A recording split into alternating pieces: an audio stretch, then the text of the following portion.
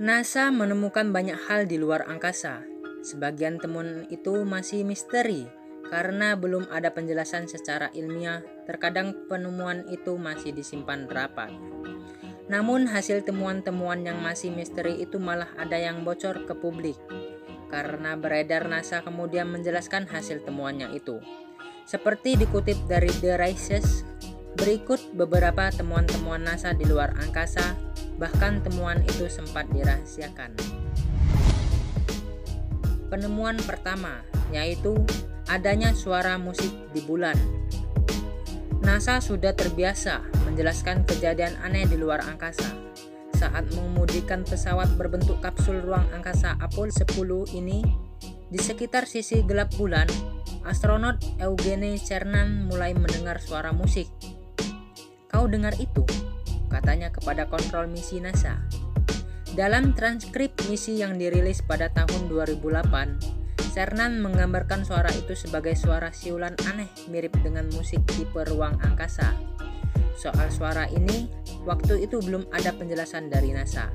Dalam bukunya 1974 Catching the Fire, astronot Apollo 11 Michael Collins juga menulis hal sama tentang musik luar angkasa saat mengorbit di bulan. Musik itu terdengar oleh para astronot. Terkait kejadian ini, NASA lantas memberikan penjelasan mengapa terdengar suara tersebut. Suara itu terjadi karena inferensi antara radio LN dan modul VHS, modul perintah VHS.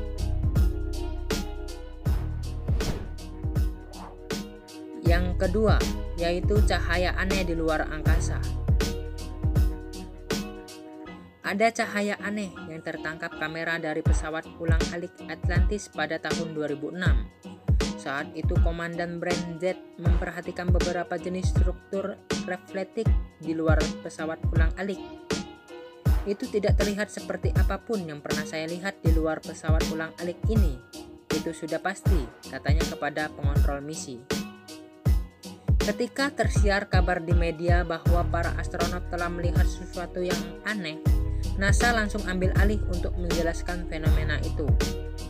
NASA juga memerintahkan pemeriksaan pesawat ulang-alik. Mereka berasumsi benda-benda itu mungkin terlepas dari pesawat ruang angkasa, tapi setelah sampai di bumi tak ada kerusakan apa pun.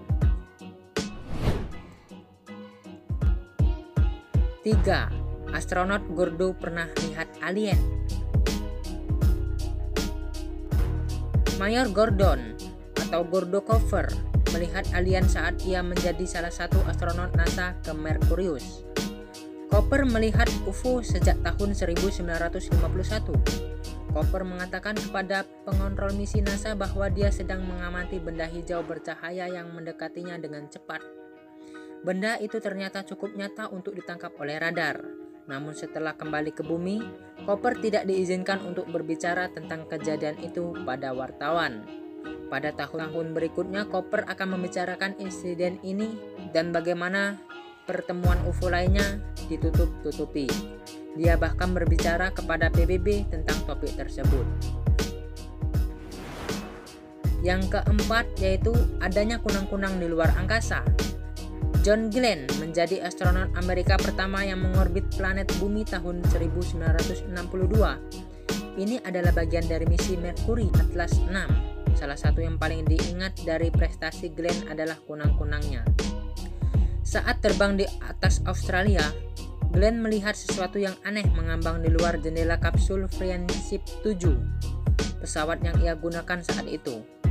Saya berada di antara partikel yang sangat kecil yang bersinar terang seperti mereka bercahaya. Mereka tampak seperti bintang-bintang kecil, katanya kepada kontrol misi NASA. Glenn menyebut partikel kecil itu kunang-kunang, Ketika Glenn mengetuk jendela, kunang-kunang itu langsung terbang. Pengendali misi khawatir tentang keadaan Glenn. Misi ini tidak disiarkan langsung, jadi cerita kunang-kunang hanya menjadi legenda. Tapi ketika orang Amerika berikutnya ke luar angkasa, Scott Carpenter juga melihat kunang-kunang tersebut. NASA langsung menjelaskan kejadian itu. Menurut mereka ada partikel es dari penghangat kapsul sampai kematiannya pada bulan Desember. Glenn tidak pernah puas dengan penjelasan itu. Itulah empat penemuan NASA yang diperahasiakan malah dibocorkan publik. Sampai di sini dulu video kita hari ini.